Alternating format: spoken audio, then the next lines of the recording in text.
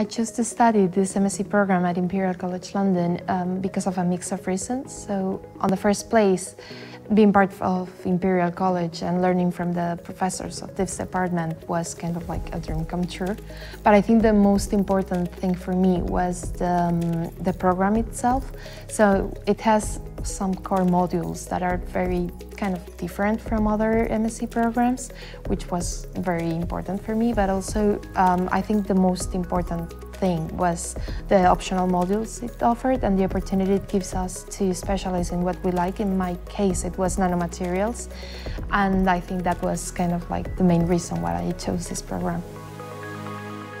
What I like the most about the course, it's all the opportunities we have to learn. So during the year we have a lot of freedom to plan our own work and we also have a lot of workshops in which we have the opportunity to learn about many different topics.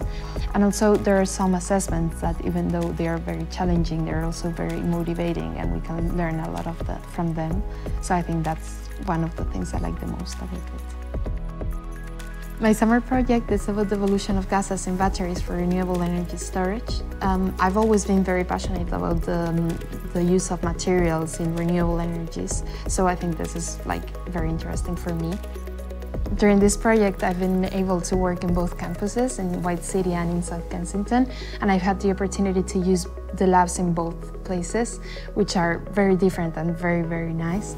And um, also uh, with my research group, I've not only have the help of my supervisor and my co-supervisors, but I've also been able to work with people from the whole research group. So I've learned a lot from different people and from different uh, backgrounds, and I think that's that's a great opportunity.